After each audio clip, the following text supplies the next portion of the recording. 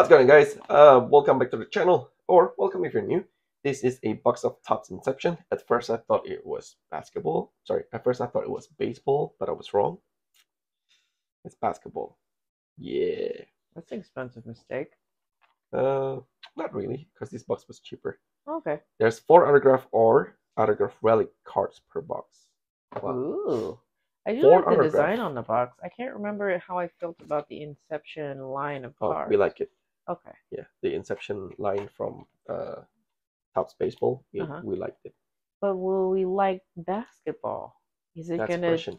is it gonna be that much different? Mm, Not a clue.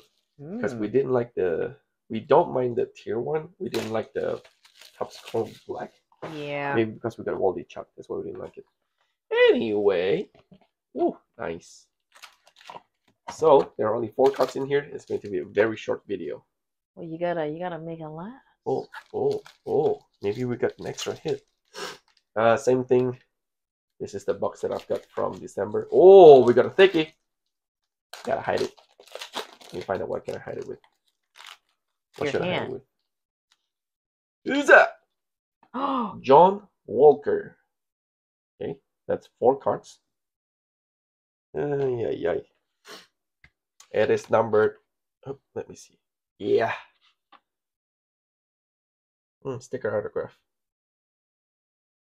The baseball Inception, the baseball has uh, on card autograph.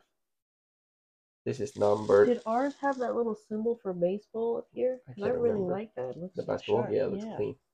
Uh, this is John Walker for his what? City Reapers. Hmm. So it's not NBA. John Ed? Hmm? John Ed? Maybe it's collegiate. Uh, uh, interesting. So maybe we can pull Wemby out of this. There's a colored one. I'm gonna pull that one last. Ah, ah.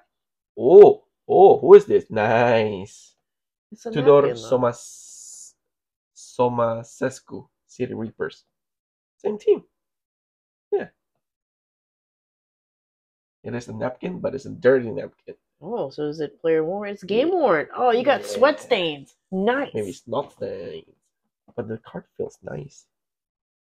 Alright, we gotta go with the thickest one on the bottom. Yeah. See what we go get. Kanaan Carlyle, number 16 out of 99 for the YNG Dreamers.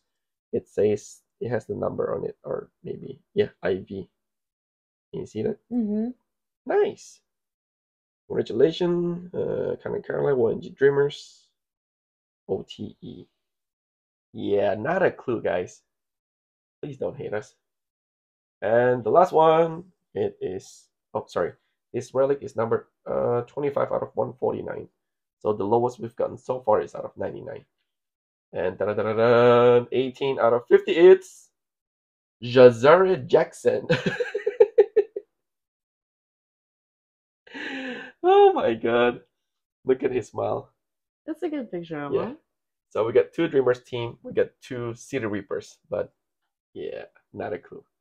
Um, anyway, personally, I think this is very fun because I have no expectation. I don't know what teams they play for.